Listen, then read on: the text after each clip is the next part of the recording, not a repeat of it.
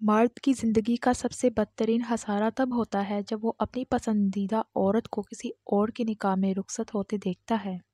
नफ्सियात के मुताबिक अगर कोई आपसे वाकई मोहब्बत करता है तो आपके लिए उसके एहसास कभी नहीं बदलते, चाहे वो कितने ही लोगों से मिले। जिस शख्स से आप मोहब्बत करते हो, उससे जुदाई का दर्द कभी कभी मौत से भी बदतर होता है। इस ज़मीन पर आपकी वहत महबूबा आपकी माँ है, अगर वो मर जाए तो तुम्हारी मोहब्बत की कहानी ख़त्म हो जाती है। जैसे अम्मा अब्बा नहीं बताते कि वो क्यों परेशान है, वैसे ही एक उम्र गुजर जाने के बाद बच्चे भी नहीं बताते कि वो क्यों उदास हैं। लोग चाहने वाला मांगते हैं, पर बेहतर है कि निभाने वाला मांगा जाए। चाहने वालों का जब दिल बढ़ जाता है तो वो छोड़ जाते हैं। निभाने वाले मजबूरियों की ओट में छुपकर आपको कभी अकेला नहीं करते। दिल को मायूस मत होने दें, बस यकीन रखें अल्लाह के फ़ैसलों पर। अगर देर है तो यकीनन उसमें हैर होगी।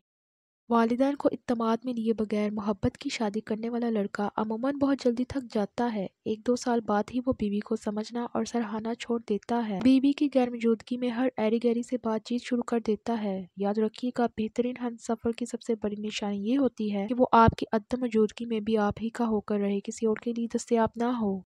हर बार जब आपका दिल टूटता है आपके दिल की पूरी दुनिया तब्दील हो जाती है। एक बोसे से दूसरे बोसे के वक्फे के दौरानिए में महबूब की आँखों में देखने की खुशी, शवाल की पहली तारीख का चाँद देखने की खुशी से ज़्यादा होती है।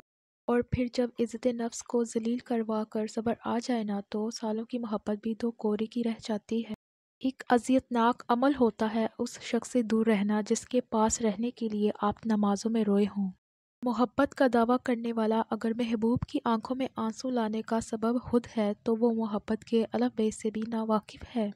हमारे माशरे में मर्द की जेब से और औरत के चेहरे से शादी की जाती है। सीरत अब किसी की भी तरजीहात में शामिल नहीं। हमेशा मोहब्बत को मजबूरियाँ ले डूबती है, वरना कोई शौक से बेवफा नहीं होता। किसी को पसंद करना इश्क नहीं होता। वो इंसान आपको कितना भी हर्ट कर ले, कितना रुला ले और भले ही आपके साथ ना फिर भी उसे पसंद करते रहना इश्क। शोहर एक हीरा है, उसकी कीमत सिर्फ़ उसकी बीवी ही जानती है, क्योंकि बीवी के लिए उसका शोहर ही कुल कायनात है। दूसरों के बदले रवैये देखकर इंसान का पीछे हट जाना, साथ रहकर रोज अपनी हैसियत को कम होते देखने से कहीं ज़्यादा बेहतर होता है। हो जाए मोहब्बत किसी से तो उठती नहीं नज़रें किसी और पर, चाहे फिर चाँद ही क्यों ना उतरे ज़मीन पर। मर्द उस औरत के पाँव ज़रूर चूमता है जो औरत मर्द की मनचाही औरत होती है।